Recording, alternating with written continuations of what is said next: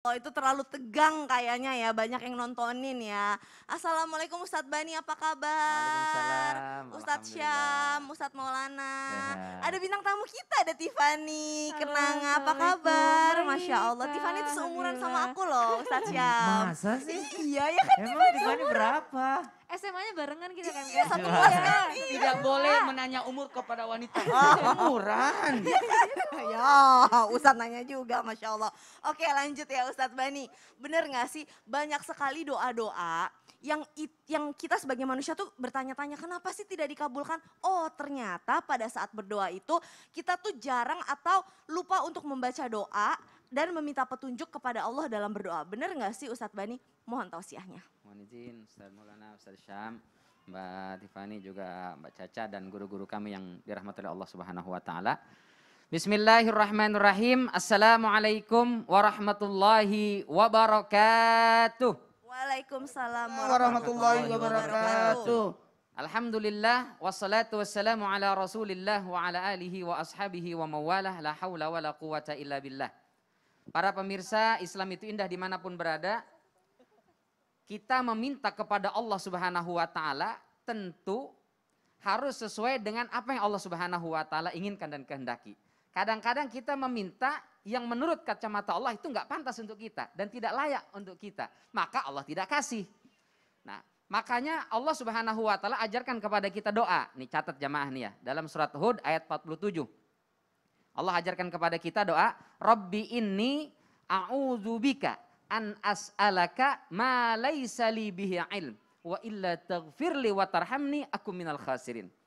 Ya Allah, aku berlindung atau sesungguhnya aku berlindung kepadamu meminta sesuatu yang aku tidak mengerti, aku tidak tahu tentang hakikat sesuatu yang aku minta itu. Jika engkau tidak ampuni aku dan engkau tidak rahmati aku, maka aku termasuk orang yang rugi. Oh, jadi pertama kita minta dulu petunjuk kepada Allah. Ya Allah, gerakan lisanku, gerakan hatiku untuk meminta sesuatu yang memang itu layak untukku, pantas untukku. Maka Allah akan gerakan kita, Allah arahkan kepada kita. Kan ada pepatah, bukan pepatah, ungkapan sering mengatakan Allah memberikan yang kita butuhkan, bukan yang kita inginkan. Tapi kita maunya yang kita inginkan itulah yang Allah Subhanahu wa taala kehendaki. Sehingga itu yang disebut dengan namanya taufik.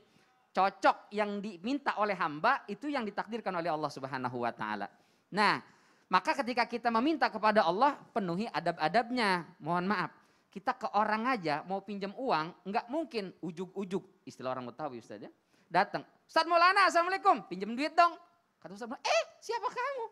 Siapa lo? Kenal juga kagak? Nah, tapi kita datang, kita puji dulu. Ustaz hari ini ganteng banget deh. Nah, itu belum minjem aja udah dikasih Ustaz ya. Masya Allah. Jadi ada adabnya. Bagaimana adabnya? Yang pertama pujilah Allah Subhanahu wa taala. Puji Allah dengan berbagai macam bentuk pujian yang layak untuk Allah Subhanahu wa taala. Yang kedua salawat, jangan sampai lupa. Baca salawat. Yang ketiga awali dengan asmaul husna. Yang keempat ketika berdoa dengan serius sungguh-sungguh bahwa kita memang butuh itu. Ada orang doa amin, amin, kayak nggak butuh. Minta dengan keseriusan. Dan yang terakhir tunaikan kewajiban kita kepada Allah baru minta. Minta mulu tapi disuruh taat tidak mau. Nah, maka ayo jamaah kita eh, penuhi adab dan etikanya. Nah, sebelum terakhir mungkin kita sama-sama doa baca doa Ustaz Kita ya? ulang surah Ya. Hud ayat 47 ya. Ya, Ya. salah Hud.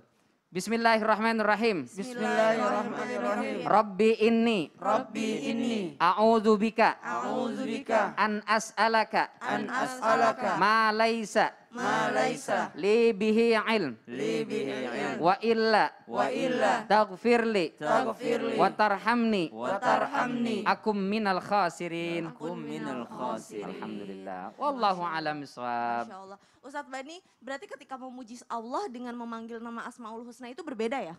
Berbeda. Berbeda ya? Masya Allah. Jazakallah khair Ustadz Bani.